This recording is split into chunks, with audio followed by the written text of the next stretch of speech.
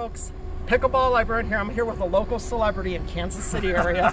One of my heroes in pickleball, 5-0 player. Yes. Maybe maybe like a Z-list celebrity around here, but I'll, I'll take it. I'll take it. I'll take it. anyway, Aaron's going to talk about the summer reading program and one of his favorite books. Yeah, yeah. My uh, my favorite book is Quiet Strength by Tony Dungy.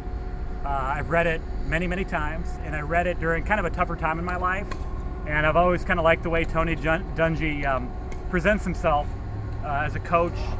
And, uh, you know, so I read that book and I was just really kind of blown away on how he handled like difficult things in his life, you know, including like losing, losing a, a coaching job and then the team won the Super Bowl the next year that he used to coach and he lost his son uh, a couple years later. And uh, just kind of blown away by his grace and uh, just kind of his common sense and just kind of his spirituality. So that was a really important book for me to read, and I highly recommend it.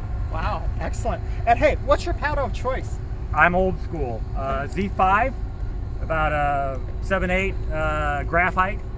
Uh, you know, other paddles are more powerful, but I'm not mature enough to handle that power. So with great power comes great responsibility. I don't have it, so I got to stick with this.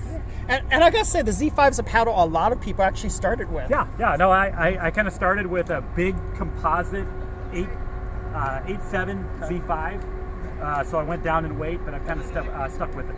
So. And uh, and uh, now that this is the newer design, is there a difference in the paddle between between that and the older design? The older design was a it was a heavier composite, okay. okay. so I could I would barely swing and the ball would fly right off. Okay.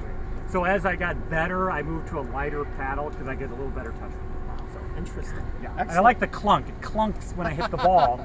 and I, I, my style is very annoying, so I try to have a lot of clunks. Excellent, excellent. So anyway, the Z5, the summer reading program. Yeah, that overdue book. I apologize. I'll get it. I'll get it in soon.